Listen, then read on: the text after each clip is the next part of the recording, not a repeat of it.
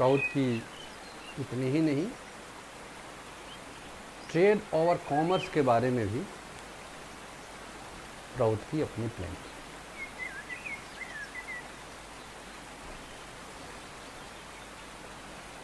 अभी capitalistic system में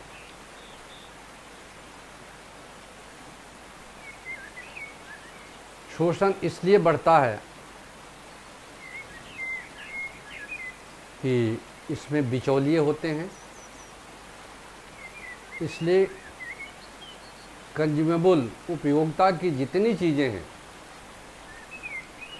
उसको कोऑपरेटिव को दे देना होगा।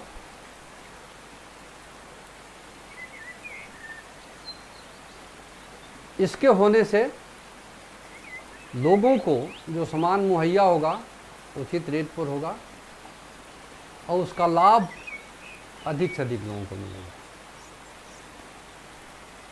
इस ट्रेड कॉमर्स में राउत का चिंतन है कि टैक्सेशन इनकम टैक्स बिल्कुल हटा देना चाहिए, क्योंकि इनकम टैक्स से जितना कलेक्शन होता है, उसके मैनेजमेंट पर उससे ज़्यादा ही खर्च होता है।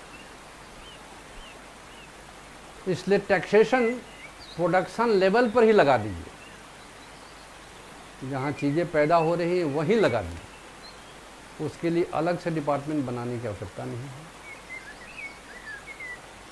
बैंकिंग कोऑपरेटिव सिस्टम को दे दीजिए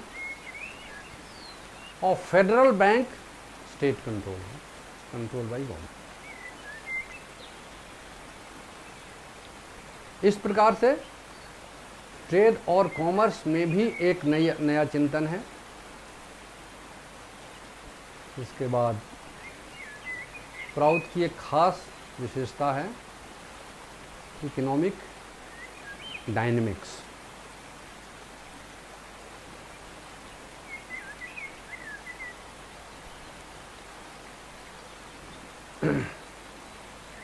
गति जितनी है,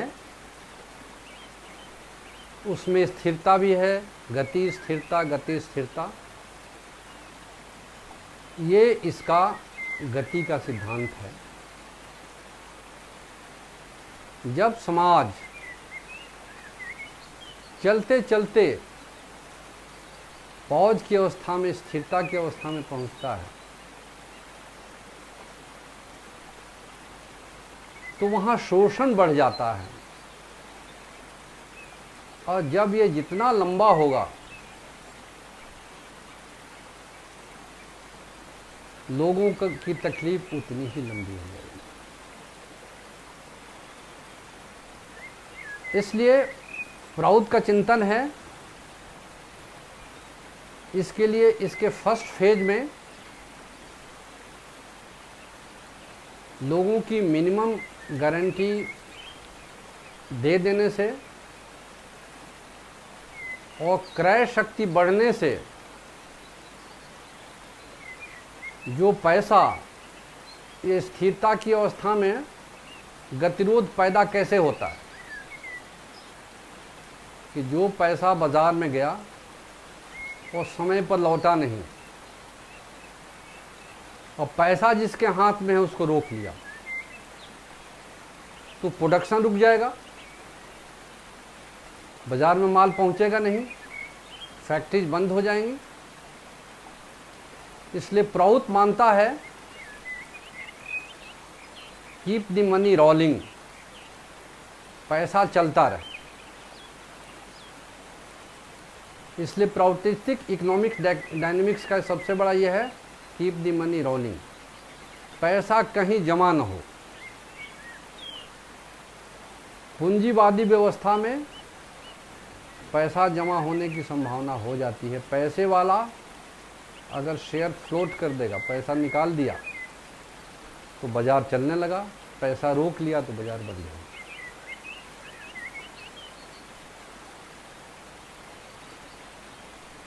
इसलिए विश्व के सामने आज अतिशयोक्ति नहीं होगी कहने का कि कोई और दूसरा चारा नहीं प्राउटिस्टिक सिस्टम अपनाने के सिवा। इसलिए इसको अपना करके ही विश्व का समाधान हो सकता है।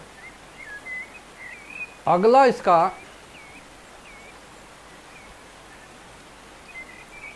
विशेषता अगली विशेषता इसकी है। डिसेंट्रलाइज इकोनॉमी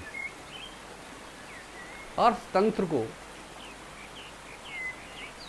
आप जितना डिसेंट्रलाइज करेंगे, उतना ही ये जनहित में होगा, लोग सुखी होंगे। और ये जितना सेंट्रलाइज होगा, उतना ही शोषण बढ़ेगा। इसलिए प्रौत विश्वास करता है डिसेंट्रलाइज आर्थिक व्यवस्था में। लास्ट है इसका इकोनॉमिक डेमोक्रेसी आर्थिक प्रजातंत्र।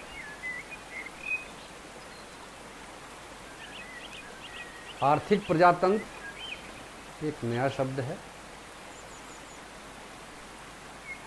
इसमें प्रजातंत्र का आदमी मतलब समझता है कि हमने, हमको वोट डालने का अधिकार। हम स्वतंत्र हैं, जिसको चाहे वोट दें। क्योंकि मनुष्य जब से इसमें चिंतन आया, स्वतंत्रता की इसकी खोज जारी हुई।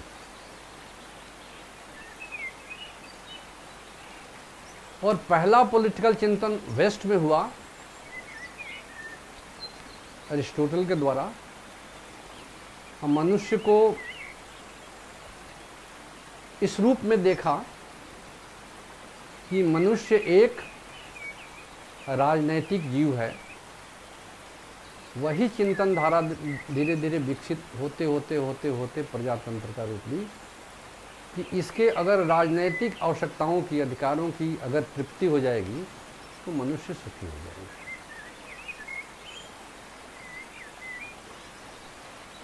उसका नतीजा हुआ,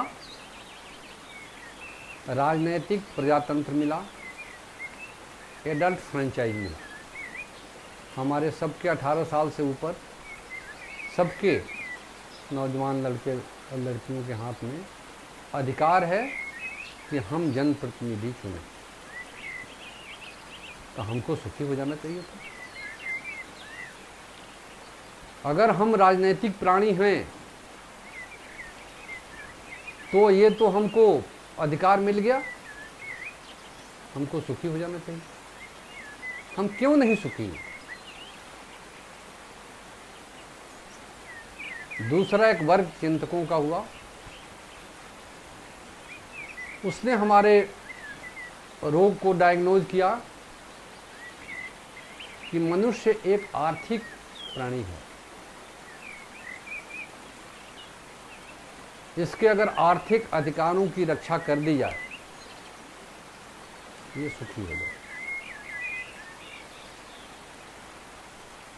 ये दोनों विचारों के रूप बीच में मनुष्य का भाग्य आज तक खींचता चला आ गया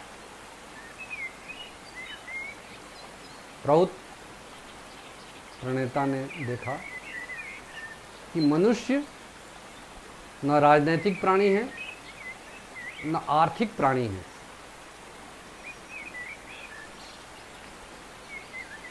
मनुष्य एक दैवी प्रक्रिया से,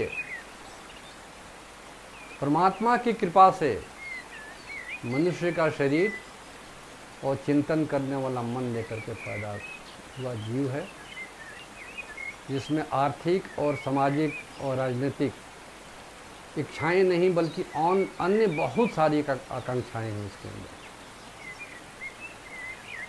लेकिन इस धरती पर रहने के लिए उसको अर्थ की भी आवश्यकता वो सुखी केवल पाँचवें साल मतदान देने से नहीं हो जाएगा। मतदान देने के बाद घर पहुंचेगा, अगर भोजन नहीं मिलेगा तो दुखी हो जाएगा उसे ज़्यादा।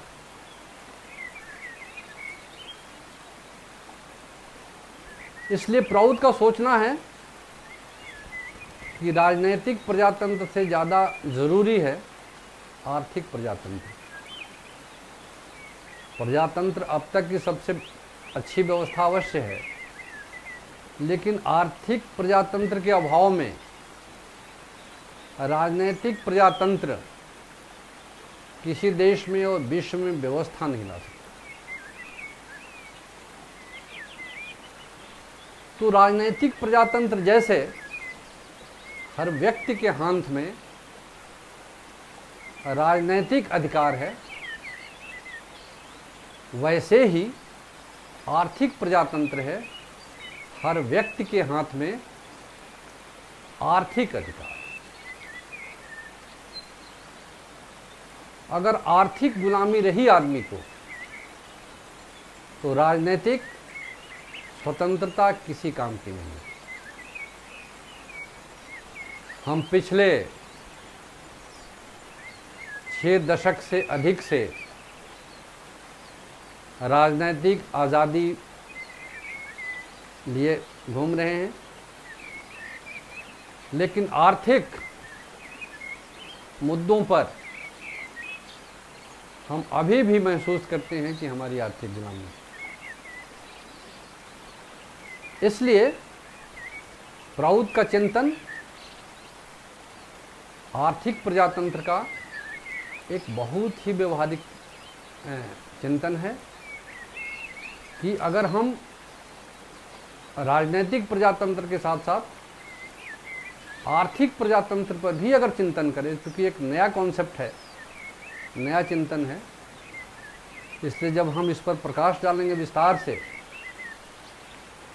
तो इस पर विस्तृत इसकी व्याख्या करेंगे। लेकिन एक बात अवश्य है कि आर्थिक प्रजातंत्र के बगैर राजनीतिक प्रजातंत्र मूल्यहीन है। आर्थिक प्रजातंत्र हैं। हर आदमी के हाथ में आर्थिक अधिकार तभी जीवन सुखमय होगा, समाज में शांति और अमन चैन होगा, और देश अपनी उन्नत अवस्था को प्राप्त करेगा। इसलिए प्राउद के इन सिद्धांतों को अगर हम धीरे धीरे समझें और अपनाएँ तो हम बेहतर भविष्य की तरफ़ अपने समाज और देश को लाएँगे और हम महसूस करेंगे इस दुनिया में आकर के हमने कुछ खोजा, तभी हमको मिला। इसलिए प्राउत बगैर खोजे हुए नहीं मिलेगा। आओ खोज जारी रखें।